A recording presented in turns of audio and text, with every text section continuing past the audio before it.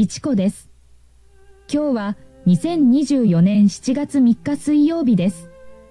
高松の午後6時半頃の温度は31度で、予報はほぼ晴れです。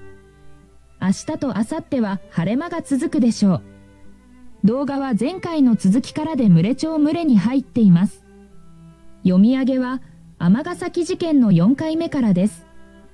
主犯の女性らと主な被害者家族らの相関図を記事と見比べていますが、いまいちわかりづらいですね。では、いつものように Wikipedia の記事からです。誤読があるかもしれませんがお許しください。どうぞ。尼崎事件。出典、フリー百科事典 Wikipedia より。事件関係者の続きからです。逮捕、書類送検者あるいは死亡、行方不明者のみ。D の長女、主犯女 X の同居人男性 L の妻、死亡、書類送検。1982年生まれ。X が関わる前は IT 企業でウェブデザイナーとして働いていた。しかし C、D 家乗っ取り事件により X らと共同生活をするようになるが、虐待を受けることも多かったという。二度逃亡しており、一度目の逃亡では2004年3月頃から2006年12月頃までの約3年間、居酒屋でアルバイトをしつつ大阪府枚方市内のアパートで一人暮らしをしていた。2007年に同居人男性 L と結婚している。2008年12月に死亡したとされ、その死亡に関して7名が殺人と監禁罪で起訴されている D の長女死亡、死体遺棄事件を参照。当人も3件の傷害致死容疑などで書類送検された。D 夫の兄死亡。1944年生まれ。口述の C、D 家乗っ取り事件で虐待を受けていた弟、D 夫一家を助けようとしていたが、弟の家で軟禁状態にされ、勤務していた工場を退職したり、突然妻に離婚すると突きつけてきたりといった異変が見られるようになった。2003年10月に尼崎に引き返す際も D の長女、D の次女姉妹と共に同行し、尼崎で共同生活をしていたと思われる。その後、2004年1月に自宅マンションで死亡したとされる。その死亡に関して、8名が傷害致死容疑で書類送検されたが、嫌疑不十分や被疑者死亡でいずれも不起訴処分になっている D 夫の兄死亡、死体遺棄事件を参照。E 家、F 家。当時、大手私鉄会社に勤めていた E が、クレームに対応したことがきっかけで、X が E 一家や E の妻の母親 F の家庭事情に口を挟むようになる。E、逮捕。1969年、1970年生まれ。大手私鉄会社に勤めていたが、2009年春にクレームに対応して以降、X により E、F 家乗っ取り事件に発展する。退職、転居、離婚を強要されるなど家庭は崩壊し、最後は元妻と次女の3人で無理心中をさせられる寸前にまで追い込まれた。F、元妻の実母に対する傷害致死罪などで起訴されており、大阪高裁で受けた懲役3年執行猶予5年の刑が確定している F 死亡、死体遺棄事件裁判を参照。E の妻 F の次女逮捕。1970年生まれ。F の次女で E 家に嫁いでいた。口述の E、F 家乗っ取り事件で離婚、転居を強要されるなど家庭に介入され、最後は元夫と次女の3人で無理心中をさせられる寸前にまで追い込まれた。2011年11月に警察に保護された時の体重は虐待により35キロほどになっていたという。F、当人の実母に対する傷害致死罪などで起訴され、懲役2年執行猶予3年の判決が確定している。F 死亡、死体遺棄事件裁判を参照。F 死亡1944年1945年生まれ口述のいい F 家乗っ取り事件で2011年9月11日に死亡する。食事制限などの虐待により、体重は22キロほどになっていたという。その死亡に関して、3名が傷害致死罪などで起訴されている F 死亡、死体遺棄事件を参照。F 家長女逮捕。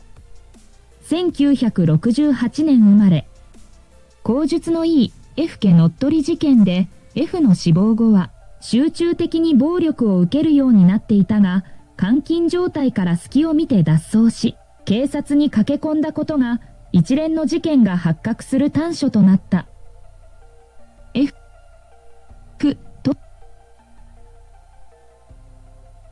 本人の実母に対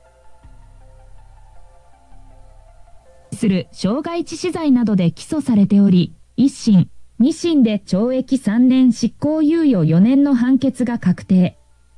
F 死亡、死体遺棄事件裁判を参照。事件の経過。A 一家、X らと同居。A の長男は10代の頃に X と知り合い、成人後、家族同然の付き合いをさせられていた。1982年頃、A 長男は姉に連れられて熊本に逃げたが連れ戻され、以降は姉や A の次男 A と共に X と同居させられた。A 長男は同居後は姉や母が虐待されるのを見ていたが止めることはできなかった。A 失踪事件1987年頃。A は2006年に H、A の長男の戸籍上の妻による失踪宣告申し立てにより、1994年5月に66歳で戸籍上死亡扱いとされているが、逮捕者らの供述によると、A は1987年頃に X の自宅などで家族らから暴行を受けて死亡し、尼崎市の海に遺体を遺棄されたという。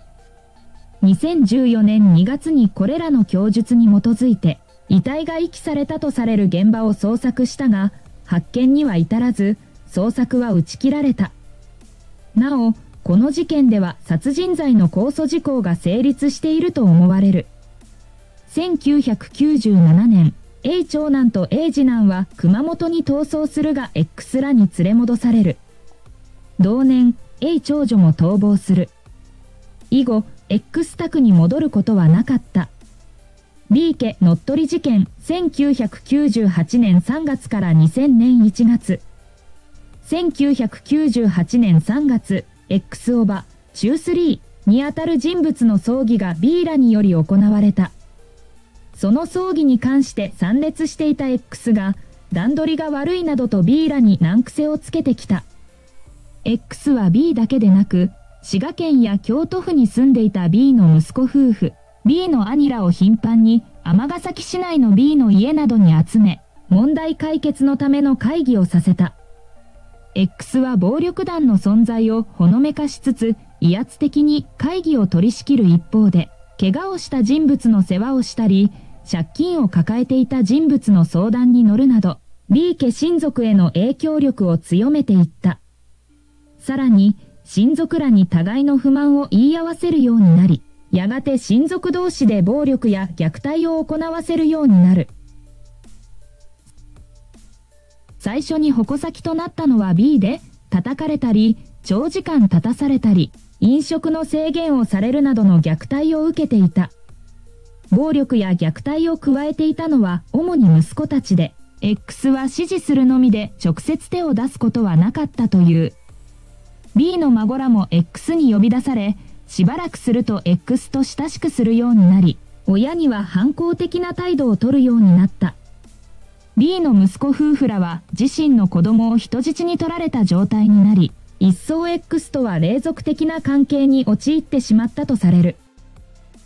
こうして支配を強めていった X は様々なことを口実にして息子らに退職を強要したり家を売らせた。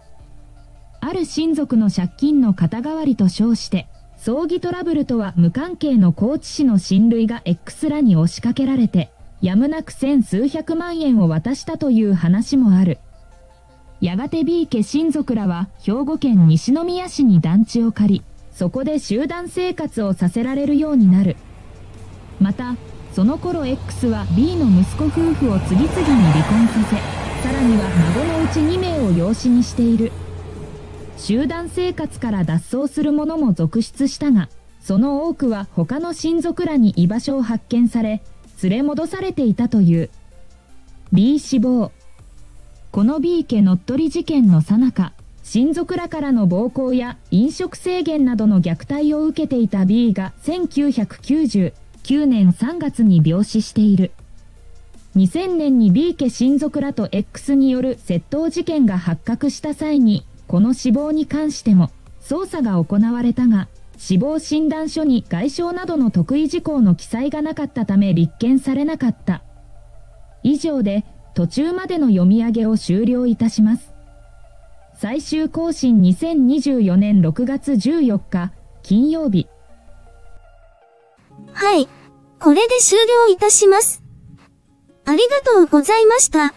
皆様に、幸、多からんことをお祈りしております。